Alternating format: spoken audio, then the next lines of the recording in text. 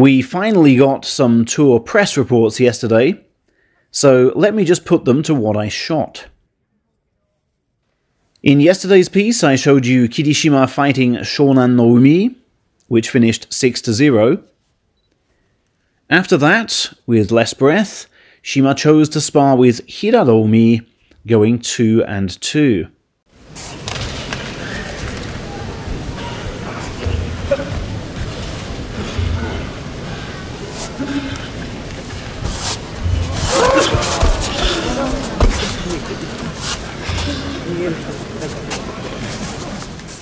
I've gained confidence from that, puffed Hirado. You saw me striking well and constantly on the attack. It was his second Ozeki test of this tour. He was called out by Hoshoryu on December 9th, on the first of two tour dates in his native Nagasaki. And boy, are the locals cheering me louder these days, Hirado remarked. It gives me extra strength for sure. Also throwing himself about was fellow youthful force Atami Fuji, who fought four bouts in East Hiroshima against the likes of Meisei and Ryuden, scoring wins against both. He's keen to get lots of practice bouts in, even in crowded dohyo conditions, as the situation demands it. He's up against all the biggest names for the first time in just under a month. Obviously, in January, I want to stay true to the Atami Fuji way, he said of the type of sumo he pictures fighting. But don't get me started on weak points right now. My hips are too high, I can't drive forward. If I list them all, I'll never stop talking. Let me just try to work on them during this tour.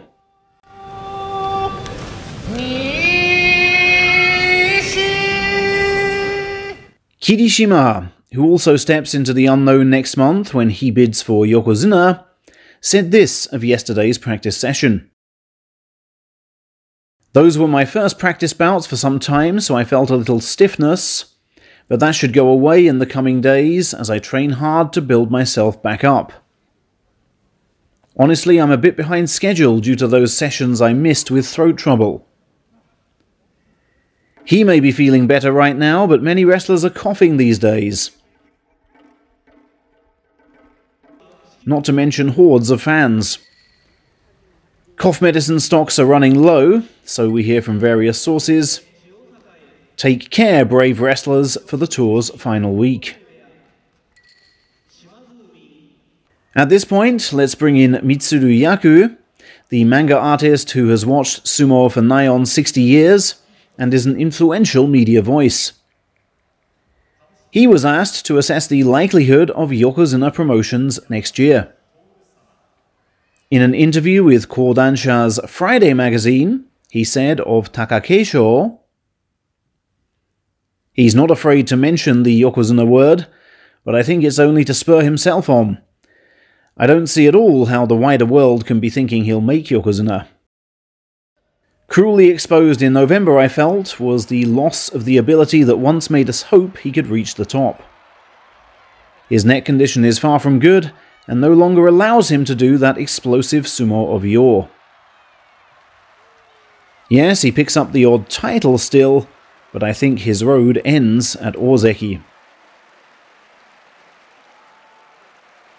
On Hoshoryu, he went on to say, if he relies on flexibility and the spring in his legs, he'll be doing more than alright. But he pins too much on throws right now, which of course is laden with risk. You're constantly worried he'll get injured. Bottom line, he's just not Yokozuna level yet.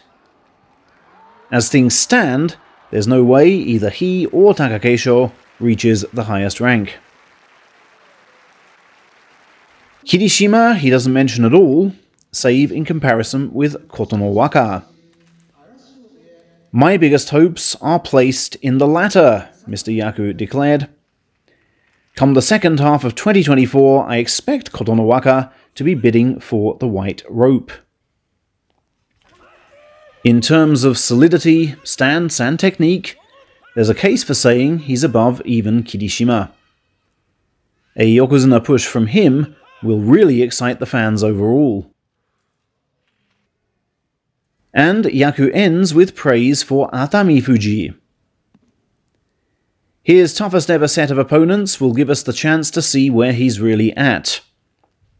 His technical deficiencies were laid bare in that November bout with Kirishima, and we also saw him tense up in that bout to a surprising degree.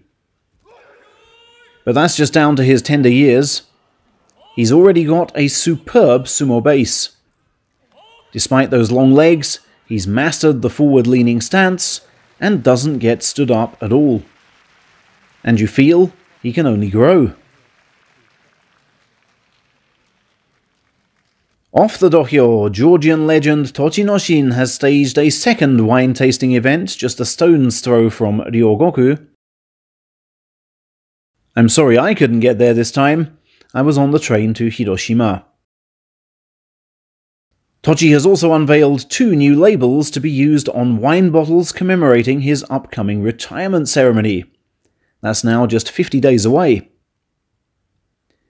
There are still so few places that stock or serve Georgian wine in Japan, said the hulking winemaker's son in his latest interview with JB Press magazine.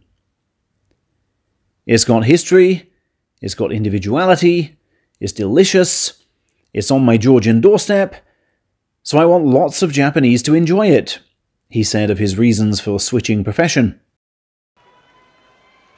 One of his former rivals, though, has declared his renewed intent not to follow him out of the sumo exit door.